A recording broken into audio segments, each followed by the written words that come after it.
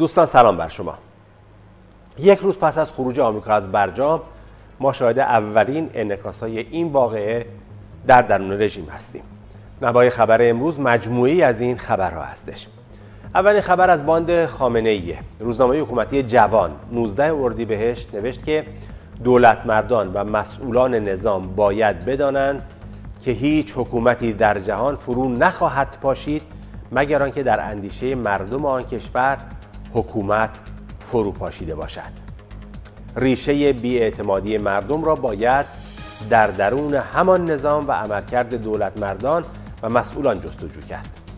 فرجام و میوه تلخ بیاعتمادی مردم به حکومت قبول بنبست و ناامیدی و معیوز شدن از مسئولان در اصلاح امور و حل مشکلات و معضلات کشور است.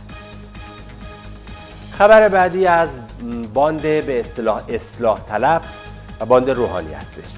مصطفی تاجزاده 19 اردیبهشت گفته ممکن است شاهد فروپاشی اقتصادی و حتی ملی باشیم. ما دوران سختی را پیش رو داریم. چنانچه خردمندانه و متحد با تهدیدها و تحریم‌های اخیر مواجه نشویم ممکن است خدایی ناکرده شاهد فروپاشی اقتصادی و حتی ملی باشیم. خب اینها که شنیدید البته دو واکنش نمادین از دو باند اصلی حکومتی بود. نگاهی می‌کنیم به چند موزگیری دیگه. سایت حکومتی بهار 18 اردیبهشت نوشته زخمهای بحران آفرین یکی یکی در حال سرباز کردن است و دیر نیست روزی که ایران غرق در بحران شود. هنگامی که اعتراضات دیماه 96 رخ داد بسیاری از دلسوزان کشور به تصمیم گیران هشدار دادند که اعتراض و نارضایتی محدود به آن افرادی که در خیابانها حضور داشتند نبوده است.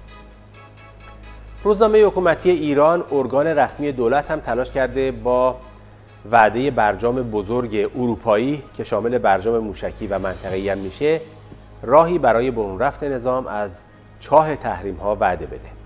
این ارگان دولت نوشته که ایران در کنار دیگر قدرت های بزرگ جهانی و منطقه‌ای می تواند به برنامه جامع اقدام مشترک بزرگ بیاندیشد.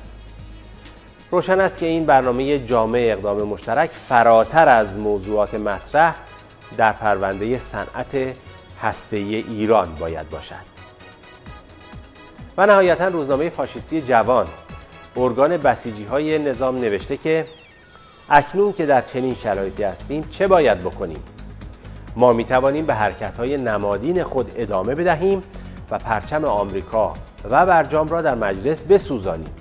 یا زانوی غم به بغل بگیریم که چرا چنین شد و همچنان منتظر خروج سایر اعضای پنجه به علاوه یک بشویم.